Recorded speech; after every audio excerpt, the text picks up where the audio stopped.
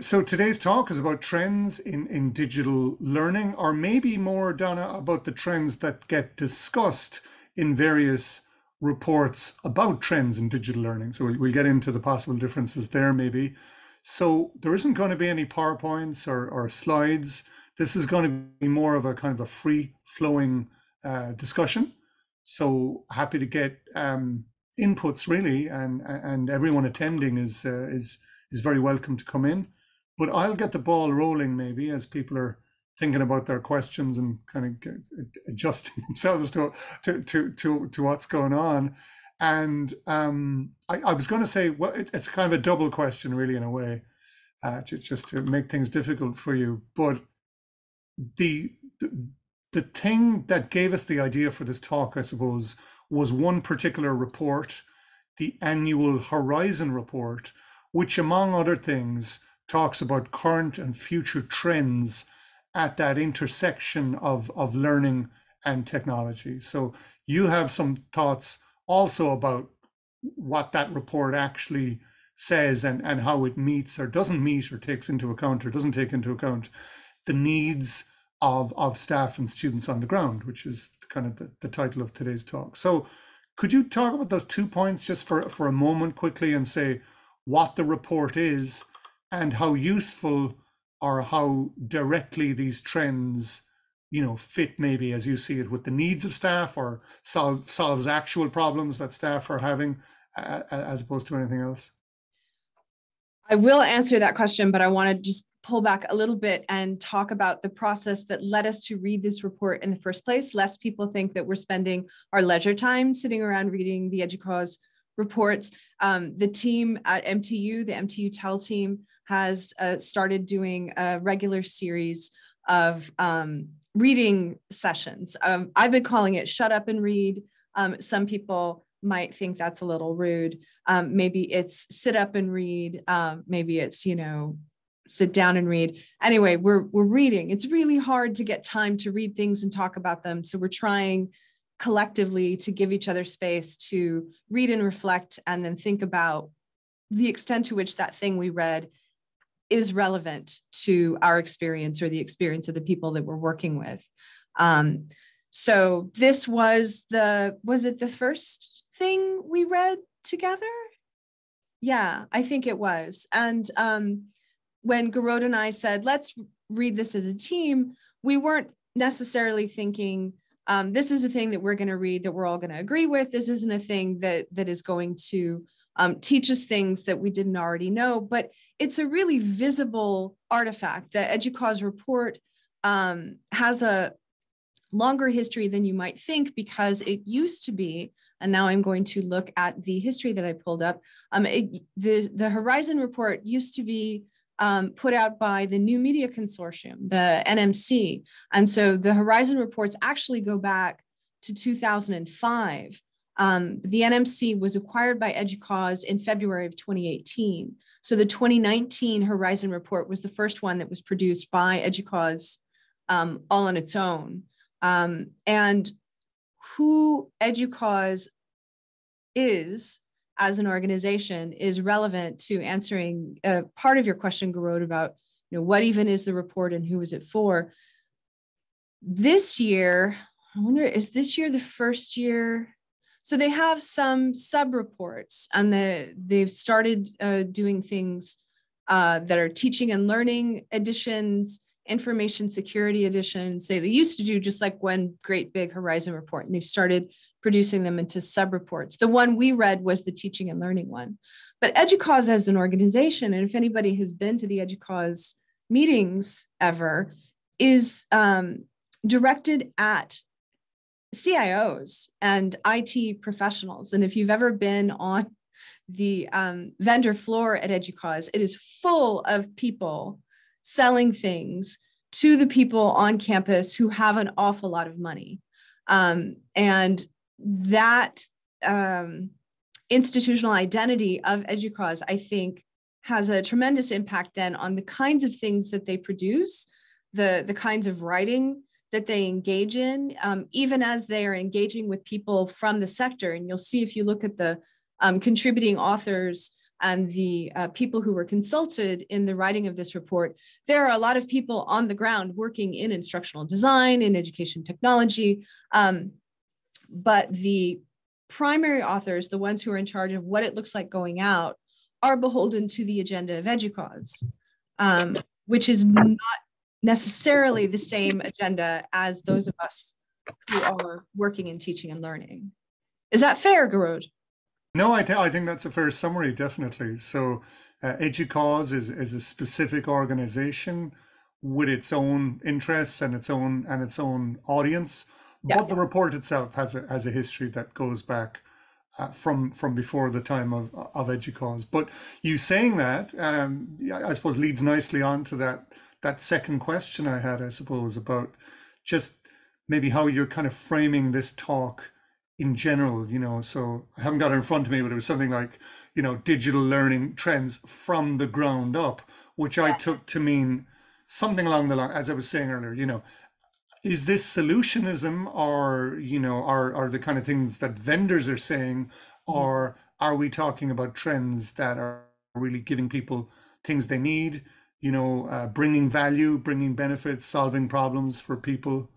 Um, I don't know. Didn't know if you wanted to start there, and then maybe we could talk about one or two of the individual trends, or we can dive right in to yeah. the if that's easier. So I would say that if you, um, those of you who are on the call, if you look at previous um, EDUCAUSE reports, you will see um, a great deal of continuity in the trends. There are things that they're calling trends in in this report that they have been looking at as a trend. I don't know when a trend becomes just a thing that happens um, what the what the dividing line is between practice and a trend you know what who decides it's a trend um, is calling it a trend justification then for including it in the report um, according to whom i think is a is a question that that comes up over and over again um, so yeah we had picked sort of three major ones that we wanted to talk yeah, about yeah I, I i can go into that so just for everyone else's knowledge the the that we won't get through all of these trends, but the main trends I'm seeing in the report are AI and machine learning for two different purposes for analytics and learning tools. The use of VR, AR, and XR, and whatever else you want to call all of, all of that kind of stuff. Uh, new digital forms of accreditation and learning recognition. So that's primarily micro credentials and digital badges. And then the mainstreaming of hybrid or HyFlex uh, approaches. And maybe let me begin with that one because I think it's the most easy and maybe most conspicuous ones. There's an argument in the report, Donna, that says basically during the pandemics, uh, during the pandemic, singular, sorry, uh, during the pandemic, we we we reorganized our lives around online and remote modes of living and working. Okay, so we discovered, or some people discovered for the first time perhaps, the benefits of being able to do things from quote marks, heavy quote marks, anywhere. Okay, so the, there's an argument that says that these practices will maybe persist to some degree, that that will be a big part of the legacy of COVID. Not saying that we're finished with COVID yet. So, you know, we're we're also in the, in the teaching and learning context here. I suppose we're talking about the student as customer, maybe maybe the students will expect that they they will have that continued kind of uh, flexibility, if you like. You know, so one obvious thing that's coming up here in MTU, for example, is the the notion that maybe we can have classes that would accommodate both on campus and online participants at the same time. So I'm I'm doing a class, but people are tuning in um, at a distance, perhaps, and maybe those classes are getting recorded as well. What what do we think of that one? Out of all the trends, that seemed to me to be the most reasonable, but I wasn't sure they were really engaging with some of the practical and operational, um, you know, issues that that that that might exist there. Well, and I know the rest of the team have things to say about the the hybrid thing, so I would encourage people to either put stuff in the chat or um, chime in um, as and when you you think it's relevant. But one of the things that struck me about the way that the EDUCAUSE report was positioning themselves in terms of hybrid and HyFlex and um, the importance of online um, and digital options during the pandemic emergency was they were writing about the future of those options with a great deal of optimism. Um, and, and this, I think, is where their CIO focus is really revealed. Um, it reads like somebody trying to make an argument for continuing to have um, a lot of institutional support for a lot of um, online options and um, flexibility around either being in person on campus or elsewhere and still participating. But what I am seeing and what some of the rest of us have been saying we're seeing in terms of practice now in this term and even in the previous term was an awful lot of people in charge of universities saying things already like we're going to get back to campus we're not going to do online learning anymore nobody's happy with having to be online all the time the rhetoric of the people in charge of the money does not match the rhetoric of the people who are writing this report with a great deal of now everybody accepts that this is a thing that we need to do. And so we need to be ready to meet that desire. I think it's arguable that at an institutional level, that desire is supported. Now, that's very different from do students continue to need and want the flexibility, not just because of pandemic emergencies, but because there are students who have always needed and wanted this flexibility because of disability status, because of caregiving needs, um, because of uh, financial reasons, like they can't commute in. The price of petrol means that you know if they have to be in every day, doing a degree is is not affordable. So that pre-existing need for flexibility persists but the administrative argument for providing that flexibility seems to be fading away. At the same time the educause is saying this is great. Everybody needs us now and they know they need us because of the pandemic. Um, this is the this phenomenon the disconnect between what people doing education technology and and it in universities and what people in charge of the money are saying is what peter bryant at the university of sydney business school calls the snapback. And Peter's been writing about the snapback, that sort of back to normal rhetoric uh, since early 2021. He and I have been having conversations about it since 2020. That if we're not careful, there's going to be a demand to go back to the way things were in some way because inertial force means that people want to go back to what was familiar. This way, this mode isn't familiar enough to enough people who are making decisions. And it's very, very tempting to go back to what's familiar. Absolutely. Okay. I love that, the, the snap back. Mm-hmm. Definitely. There's another writer, Sheila MacNeill, and I realize this is not going to work for everyone, but uh, she did a blog post, it was a year ago now, and she compared the whole emergency remote teaching period to Bobby Ewing on Dallas. People of a certain age will recall they wrote out this famous kind of soap opera star out of out of a soap opera. Didn't work out, and they decided to pretend it had all just been a dream. So it sometimes seems like that whole emergency remote uh, teaching period was all just a dream, and we're being asked to pretend that it didn't happen and that we should just go back to the way uh, that that things were. There's a few things coming in on chat. I don't know if people would prefer to come on the mic to make their their points, or are you are you comfortable enough looking at them on on the chat, Donna?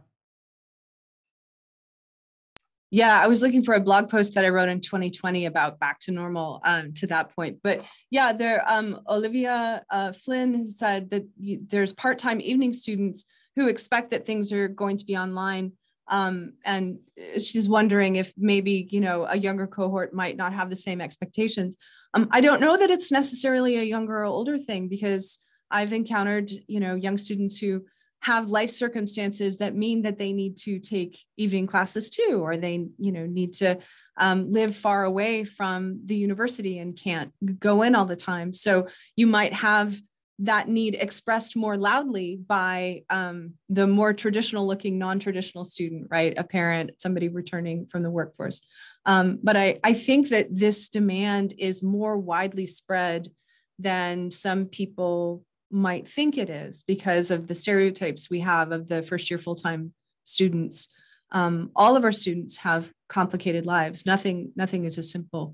Um, and also, you know, we should be thinking about the most vulnerable students, not necessarily the most numerous students. There, there's an argument that if you do things that help the most vulnerable people, you are also going to be helping the people who maybe think they're fine, who, who maybe think they're all right. Providing flexibility gives you an opportunity to not have sick people in your classroom um, because they don't have to worry about catching up because you've recorded it or because there's a transcript or because maybe they're not well enough to be in the classroom, but they're well enough to participate in an, in an online environment. And the same is true for teaching.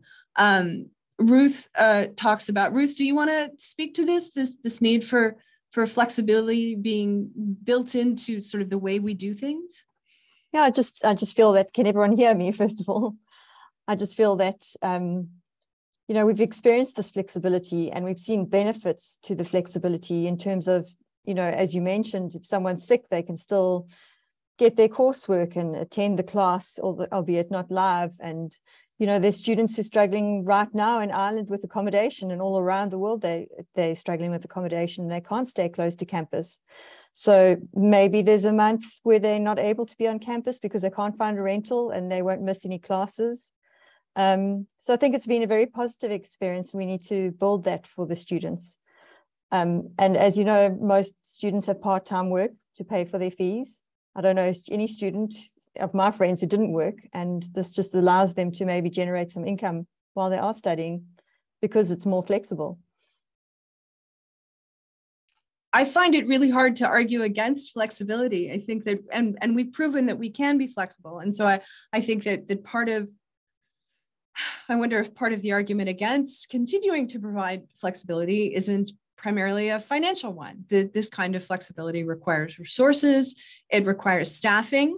Um, you can't just throw content online and have that be education. This is something that those of us who have been dealing with online um, and digitally enhanced education have known for a very long time. Um, it doesn't take less work to do this stuff just because you're not doing it in the classroom. Sometimes it takes more work. So there are labor implications and, and uh, financial implications for this. But if we're making, as we often do, education decisions based on um, what the budget will allow, then we're going to lose things. And I think one of the problems in rolling it back is that students witnessed what was possible.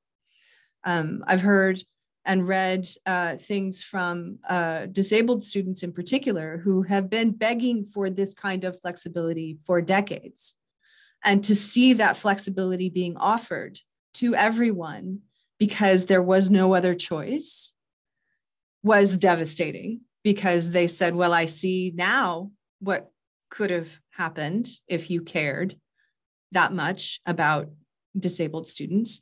Um, and, and the snapback is saying to them, now that not all of us need this, you don't get it anymore. And, and as I said, that's that's no way to value the people in our community.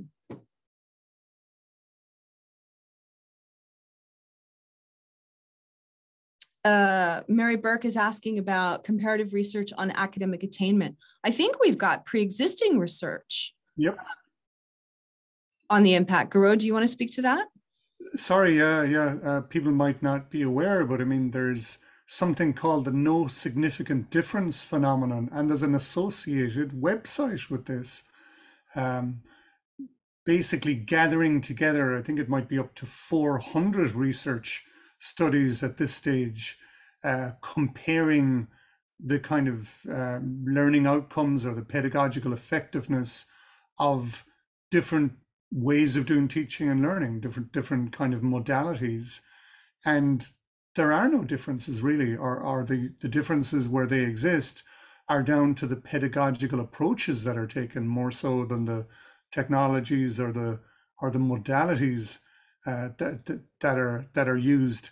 Uh, that might sound like uh, I don't know bad news for one side or the other, but I mean when you take into account that delivering online or doing digital learning you know adds all of this extra flexibility and independence of time and space I think maybe it rather puts it ahead, I guess, depending on the, on the cohort and the extent to which they would, you know, benefit from not having to commit, if you like, to coming to a bricks and mortar campus. Jane wanted to say something. Jane, do you want to shut up? I'm just going to come in with a counter argument. I think you're absolutely right with all the advantages and flexibility of the online. But also for some vulnerable students, it's safer and more inclusive for them to be on campus. So being on campus might be catering to them. And is there a danger that trying to provide hybrid, you need slightly different skills for providing online and for campus? So how do you manage that that mix? One thing we didn't do was define what we mean by hybrid. and I and I think this was another part of the conversation that we had. You know, what do we even mean by hybrid? Um, and um, other people may have different approaches, but what I tend to mean um, by hybrid is a very broad, like umbrella. Some things are happening online and some things are happening in the classroom, and you can talk about it across a program, or you can talk about it across a class, or you can talk about it, you know, across um, a, a semester. So sometimes if I'm teaching hybrid, that means some days we're entirely online and some days we're physically in a room. Uh, sometimes when I'm teaching hybrid, um, it means that I am in a room, but I am um, recording everything so that it can be, be put online so that the people who can't be in the room can still participate in the class. Um, Gearóid, what are some other ways that that looks um, in terms of, of hybrid? Yeah, I suppose another one is giving the students the ultimate choice, really, which perhaps is, is the hardest one to, to, to support. Um, some definitions, well, the main definition, that I suppose, of HyFlex, Shane would probably be better placed to comment on this than I would, but would include notions of uh, of asynchronous uh, digital learning as well. You know, um, I guess mostly when I say hybrid or when I think of hybrid, I mean, this is one of the big issues. Just as an aside, sorry that that that we have to cope with in in the whole digital learning area. You really have to, when you're sitting down with people and having a conversation with them, you need to make sure you're both talking about the same thing because there's a lot of terms that are just kind of thrown around there. For me, though, hybrid is the simpler kind of or the more gettable thing of having students who are maybe in class with you, like on campus and simultaneously having students who are able to tune in at a distance. But it's something more ideally than just lecture capture. There's some notion that you're giving both groups um, a similar experience and similar opportunities, let's say, in terms of interaction and uh, and engagement. That, that's just a personal view, though. I don't know if that's helpful. Well, and I personally would not teach that way if I did not have a co-instructor.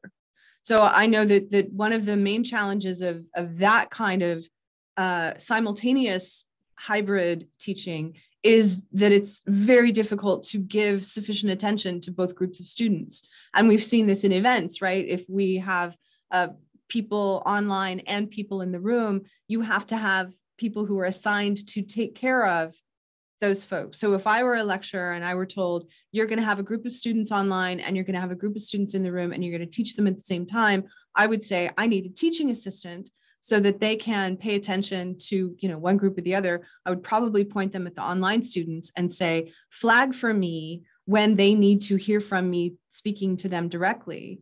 Um, because I, I and i know people do it. I know people are told you must do it this way. But i think again this you know this is a labor problem.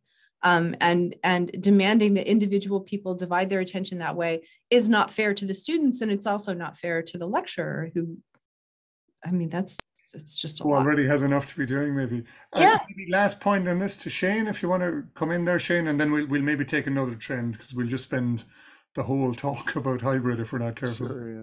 So uh, uh, just on on that last point that Donna was making around uh, a a teaching assistant or or someone to help you, I totally agree there because you know it, it is very hard. Your your your attention is going to be divided. We've done a lot of piloting of of hybrid solutions here in in uh, MTU, and you know even if the technology is absolutely seamless and really user friendly, it's so hard to keep that um, concentration when you have that you know online audience and the you're getting all of these visual cues from your your students in the classroom as well.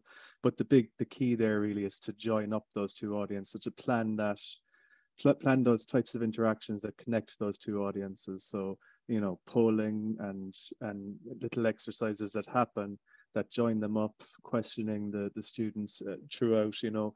But the big thing i suppose in terms of of hybrid and i could just mention it there in a, a comment uh, towards the end was um, I suppose back to your comment about that snap back to face to face, Donna, you know, the, the snap back to what is very comfortable for people is the face to face classroom, you know, and that has its own implications in terms of putting pressure on our, our timetabling systems. Our, our campuses are, are actually getting overcrowded because we have lots of students, not as much space really as we'd like. Um, you have also, as, as you're pointing out, those added pressures in terms of travel and and everything else. But um, what it really does need, if if one was to look at at hybrid as as an option, is a kind of a long-term strategy, and that would mean looking at our existing classroom spaces. Because if even if you look at our, say for example, in Cork here, we have so many different classroom types uh, you know, each has different capacity numbers. You know, you have different technology configurations. It would really take a bit of long-term planning to, to seriously look at this, but it would genuinely, genuinely provide some flexibility to our students. Um, maybe it's something we look at even in, you know, semester two onwards potentially, and you know, some pilots and things. But uh, you know, there, there is real opportunity. I, I really believe that in terms of, of more flexible delivery.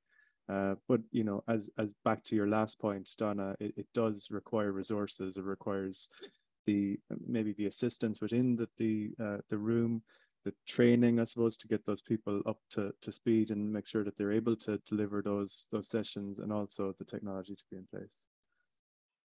I would just add one thing to that. I think that we are justifiably concerned about is this serving our students well and are we doing the right kind of teaching? And i think that it would be useful to have that kind of scrutiny put to and i was saying this um, earlier today to the group in the room.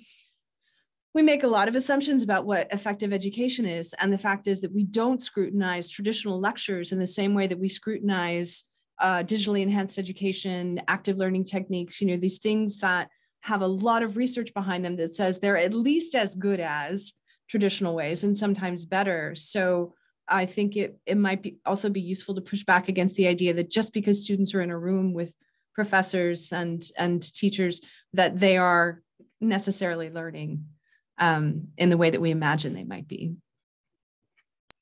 Yeah, I think that that's a great point. I think the traditional face-to-face is often uh, held up as being a uh, you know a kind of a gold standard, if you like, that that maybe doesn't have to prove itself.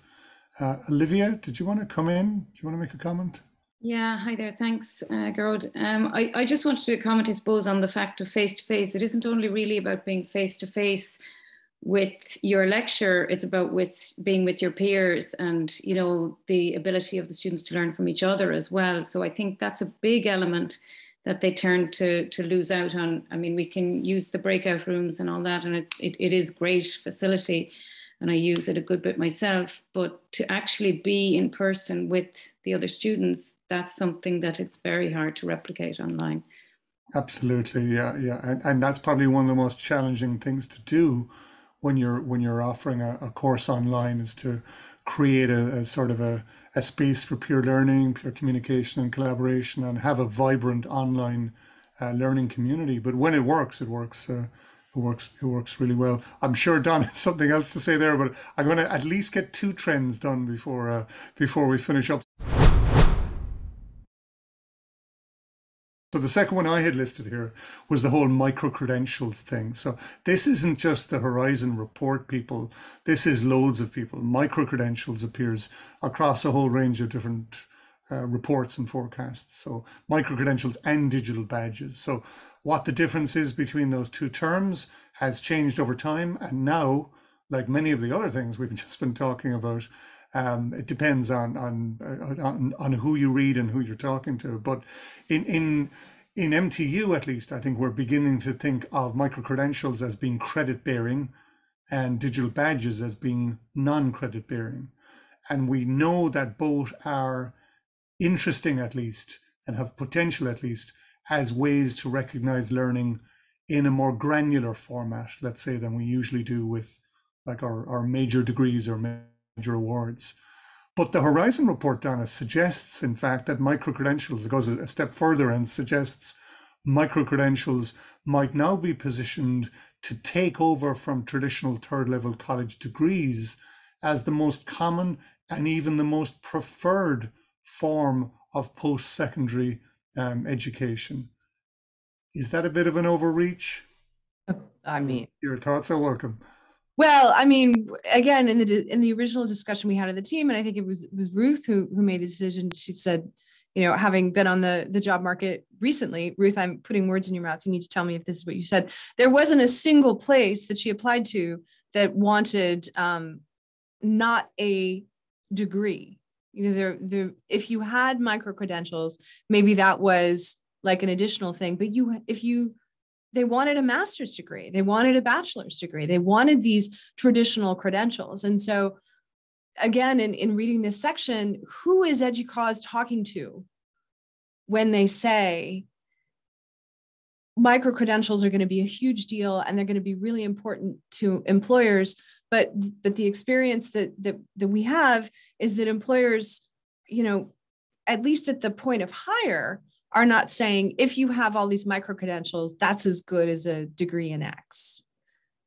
Um, I think there's a separate conversation to be had about continuing professional development and the kinds of things that employers want to see in terms of, you know, continuing um, acquisition of skills and and you know reskilling and having new things. But one of my questions is when did we give up collectively on the idea that employers are responsible to their employees for giving them opportunities to train and learn and apprentice within the organization that they are employed by. Although micro credentials might be part of that if they're doing it, but I see Tom has his hand up. Uh, Tom, do you want to come in? I uh, yeah, thanks very much. No, as I said there, I think we're in that sort of ambiguous position, and one of the I won't even go as far to call it research, a sort of a, a questioning hobby I have from time to time. I look at a lot of um, job adverts in in third level colleges, because I'm really interested in deconstructing what third level colleges say and what they actually do. So they talk about, you know, we love openness and micro credentials and all this stuff. But yeah, if you exactly as Ruth said, if you're looking for a job to get, you know, tenure above the bar, senior positions, they want the stuff like peer-reviewed journals and high-impact journals and bringing in the money. They don't want, you know, buy one get one free, three hundred stickers. You know, so I think, uh, you know, forgive me if I'm sounding a little bit facetious, but I do think when you see stuff like the EDUCAUSE, and, and, that, and that's the thing, Ruth's experience is quite right.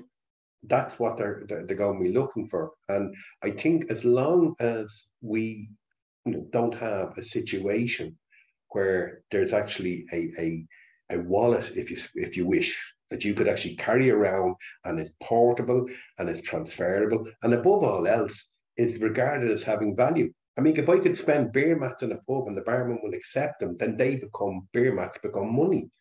And that's, I think, you know, at the moment, my cred- credentials are just beer mats. That's me.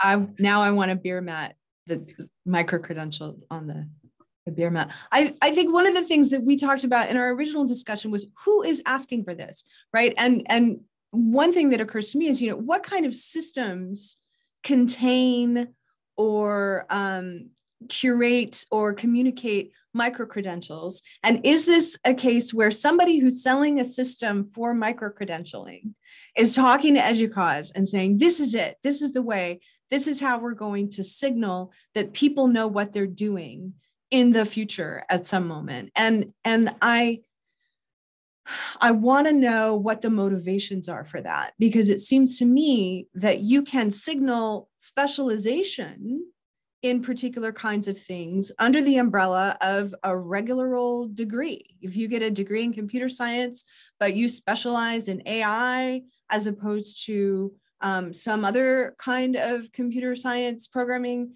you, you can signal that in the courses that you took, right?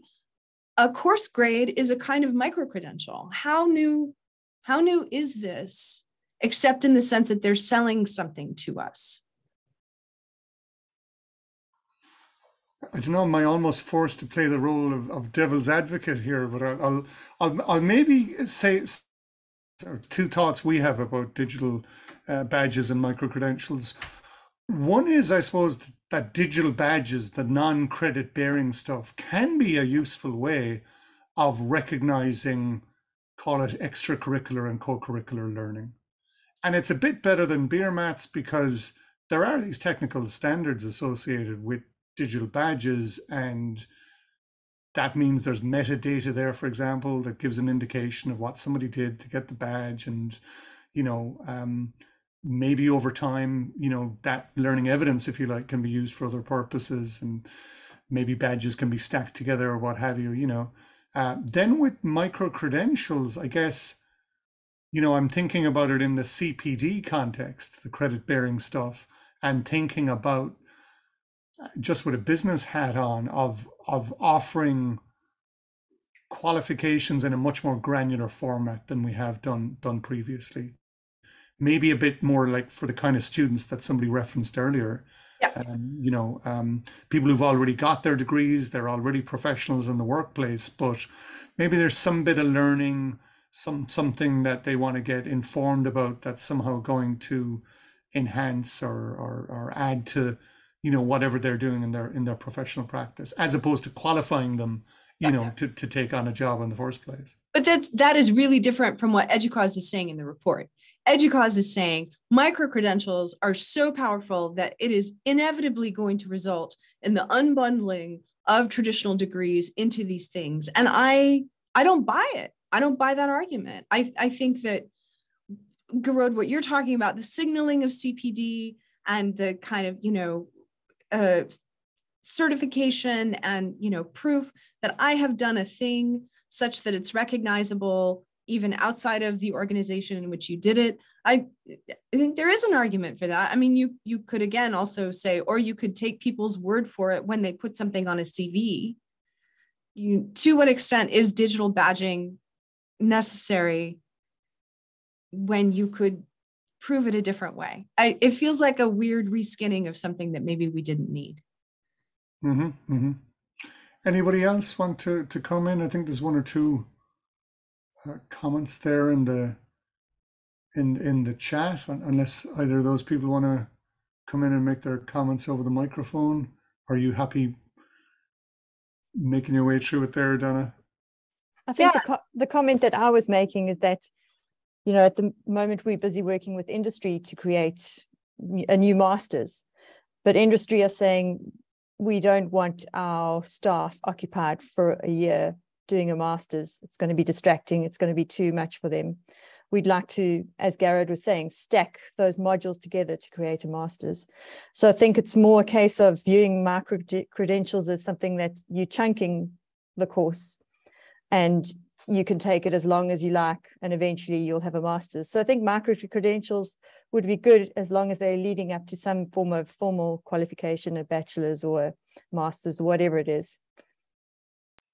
Excellent, excellent. And, and in that way, I think uh, you can think maybe of, of micro credentials as lighting the way for people as well. You know, maybe it's a it's a big thing taking on a 90 credit masters but maybe we can light the way for people and say look you know you, you've got one one batch or one micro credential already you're you're on the way follow the lights you know um, and you can stack these these together and, and and cash in your chips as it were for for for a major award at some stage jackie did you want to come in yeah i just said um just on I suppose that comment on the digital badges. Um, I suppose when when we're hiring people, we check their LinkedIn profile.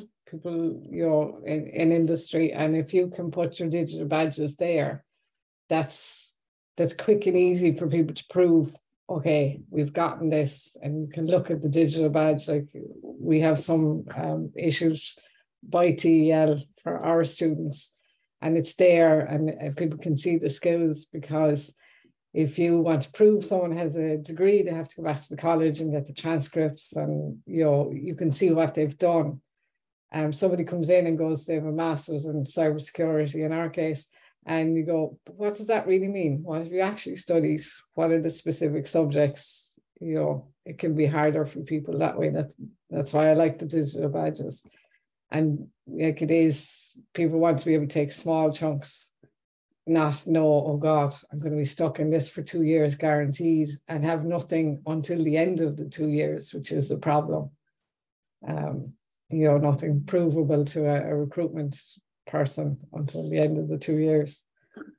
Yeah, of course, the two things are blurring now because uh, parchments, if you like, are being replaced with, uh, if you like, diploma supplements and other uh, digital formats like that. So uh, maybe in the end there won't be that much of a difference between micro credentials and uh, and traditional degrees. I know in a lot of traditional universities they view micro credentials as just anything less than a major award. In our sector, we'd call them special purpose awards, but they they, they haven't had that. Uh, that that that tradi- hasn't traditionally been part of their of their of their DNA.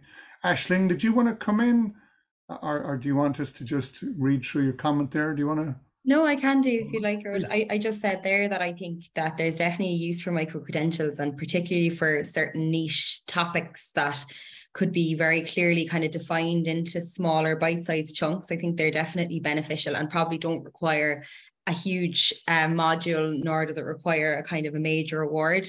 But I think that the risk is always that students still have quite a traditionalist view of getting uh, an award as, as a string to their bow and kind of adding another master's degree or an undergraduate degree to their CV um, to make them more employable. So sometimes if the offering is between something like a major award or maybe a grouping of micro credentials, you probably still in the in for the most part would see students opting for the more traditionalist award, I think, for now.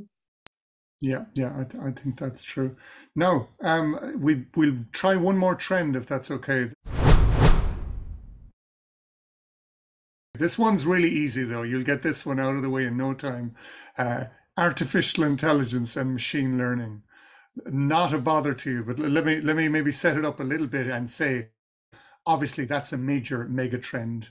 It's meaning it's a trend that's really impacting or potentially impacting loads of different things, and we're all aware of things like uh, virtual assistants and self-driving cars and recommendation engines and chatbots and AI and computer games and, and, and so on. But how is all of this landing in the whole teaching and learning area? You and I have spoken before, for example, about you know the way vendors might vaguely gesture at AI as a thing that's going to solve a particular problem.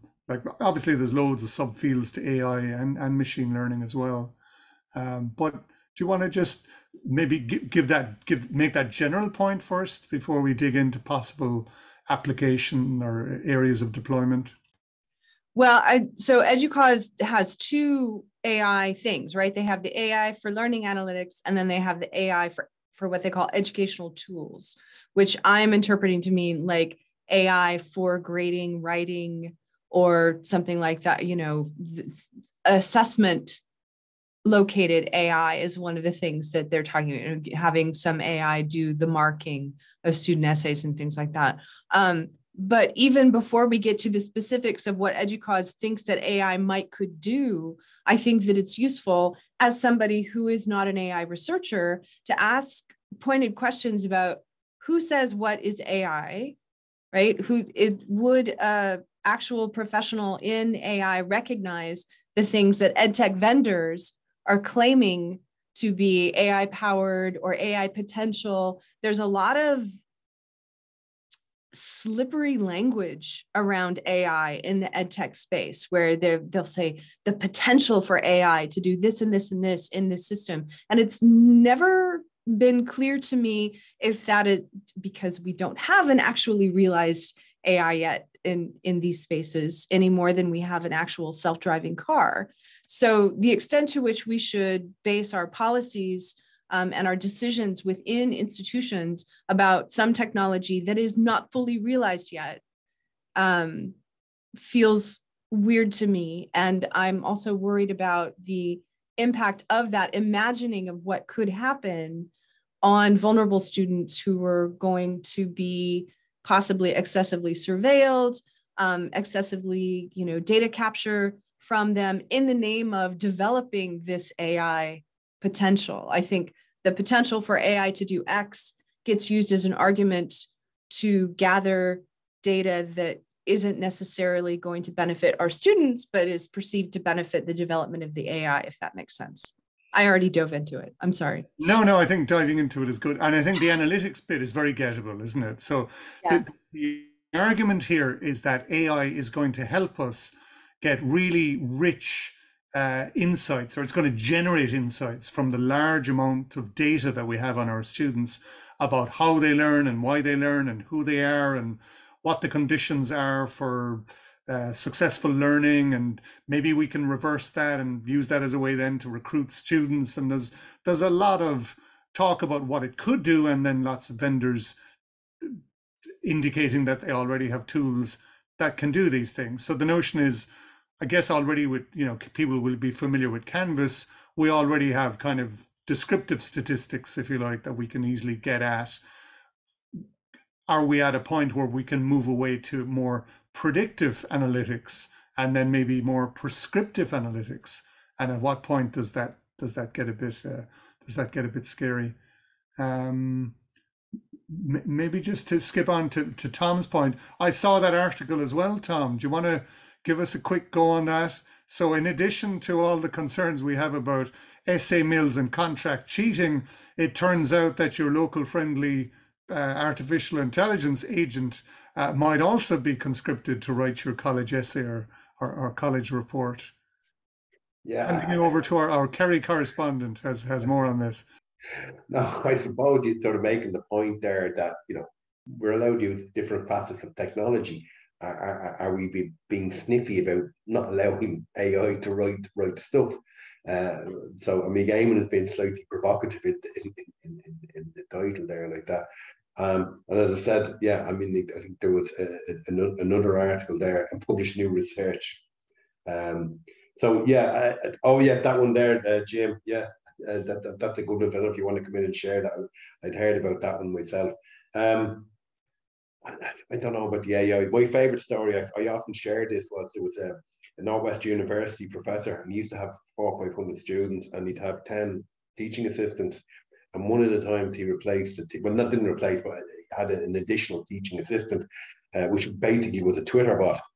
But um, it was so responsive. I had a, a name and an image and all, but um, it was nominated for a teaching award because it always responded at all hours, day and night, and, and you know, and it actually became quite clever as as, as it went on there. But um, yeah, as, as I said, like it is it's taking the whole essay mill to another level. And as i said if we have all sorts of tools i mean i've heard people sort of just say grammarly it's starting to, to cheat you know and as i said so you know because it's making suggestions. So and what I, I suppose the thing about it is if we have these tools now do we have basically uh, do we have a 19th century or early 20th century morality about using ed tech tools rather than embracing it I know you didn't say. I know you didn't sign up for a philosophical discussion. No, so I think there's a real difference though between tools that have machine learning that can massage language so that it is,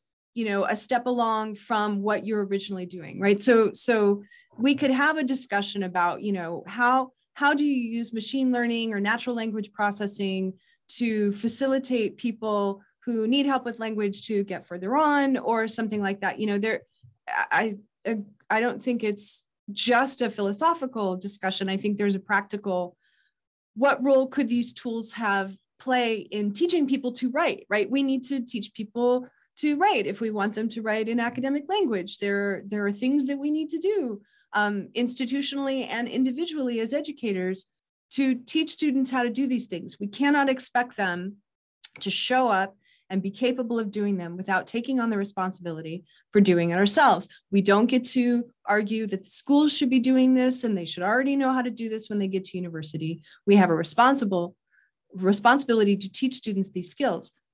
That's that said, I, I think that the the churn around AI, right? Is is a robot going to write the essays that my students are giving me, or um, is is there going to be some replacement of me as a teacher by a chatbot, right?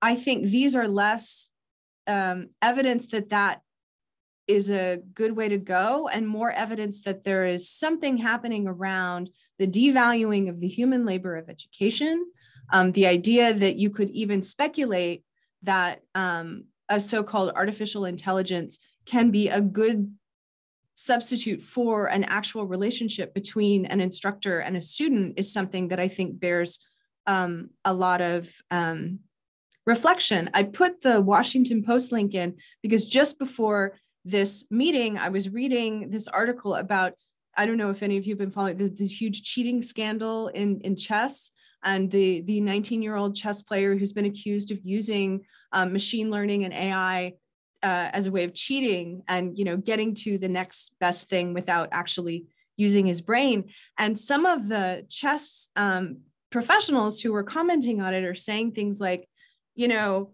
um, just because you can use algorithms to make your game perfect doesn't make you a good chess player. Like they're they're valuing this sort of messy, weird leaps that the human brain makes, even if they're not, you know, optimized in a computer sense. Um, and I think it's possible that we need to start making that argument when people start talking about the potential of AI to do X, Y, and Z. We need to make more arguments benefiting the sort of wild, woolly, and unpredictable synapse-based ways that that humans come to knowledge, and not have it be smoothed out and idealized um, in a way that that machine learning, whether we call it AI or not, can do. Sorry, somebody else should say something. Well, I, I thought it was interesting what Tom was saying earlier that maybe the likes of Grammarly, Grammarly and getting an AI to write your essay are obviously not the same thing, but maybe on the same continuum, you know? And it made me think about how you know, a lot of contract cheating sites present themselves as just providing services and supports for students. They don't say, hey, welcome to our cheating website. They say, would you like some help writing your essay or what have you? I mean, um, I, I, I don't have an answer. I think the chatbot thing is interesting. I think that's what we're, we're all going to start experiencing first in terms of AI landing in the digital uh, learning area. Uh, I haven't had any um, particularly pleasant or enjoyable experiences with chatbots. I, I don't know. I was just going to say, when would when did you find an actually useful chatbot? When did you find a chatbot that could give you information that you couldn't just Google off of the website of whatever it is you were trying to learn from? Um, I I keep trying to ask my bank chatbots complicated questions and they um, they say or even not so complicated questions you know how do i get access to my account if you shut it off because I'm traveling. And the little chatbot says, I can't answer that. Can you ask me something I can answer? so there maybe is an example of, you know, something being more motivated by the vendors, let's say, than the end users. I don't think end users are crying out for for chatbots. I mean, we'd all be happy if they got to the a stage of kind of fidelity or what have you, whereby it felt like you were talking to a human and they could deal with those kinds of uh, questions. But I don't think we're, we're there yet. Speaking of not being there yet, it's a minute to the hour. So that flew by. But thankfully, we sorted out AI and machine learning. Oh, yeah, we've got that all sorted. Yeah. so, uh, look, it just remains for me to thank uh, Donna, thank uh, all the contributors and thank everybody for coming along, really. Thanks so much. We must do it again. Yes, thanks for being here and witnessing and participating in the conversation. I appreciate it.